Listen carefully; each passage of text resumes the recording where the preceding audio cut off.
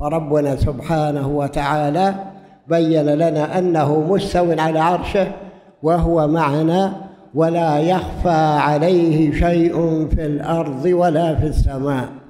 وهذا يا إخوان يدلنا يدلنا على أن المسلم عنده مراقبة ذاتية.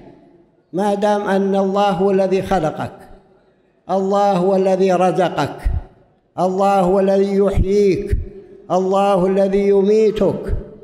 لا بد أن تخاف منه. صحيح ولا لا؟ لا بد أن تنفذ أوامره. لا بد أن تجتنب نواهيه. ولذا لو كنت موظفا في أي مكان لا بد أن تنفذ الأوامر كما أمرت. كما أمرت لماذا؟ لأن الله يراك.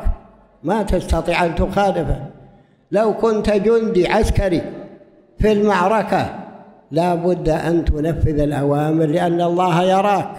لو كنت في بيتك مكلف بعمل ما يمكن تعمل أوامر لا ترضي الله عز وجل. لماذا؟ لأن الله يراك. فيجب عليك أن تستحي من الله عز وجل.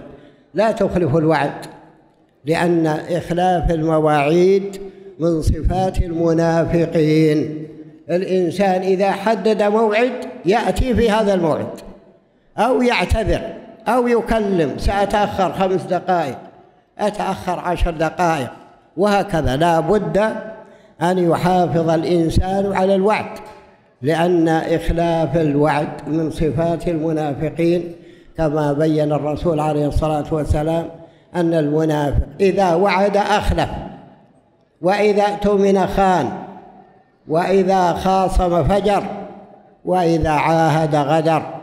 فيجب على المسلم أن يكون وفيا مثلا أن تكون أنت في وظيفة وكتبت عقد بينك وبين هذه الشركة التي أنت موظف فيها لا بد أن تفي بأوامرها بمواعيدها أيضا بحضورها بالقيام بالعمل الذي كلفت به. وإذا لم تستطع هذا العمل اعتذر لا استطيع هذا العمل لا أستطيع أن أقوم به لا أستطيع أن أعمله كما ينبغي.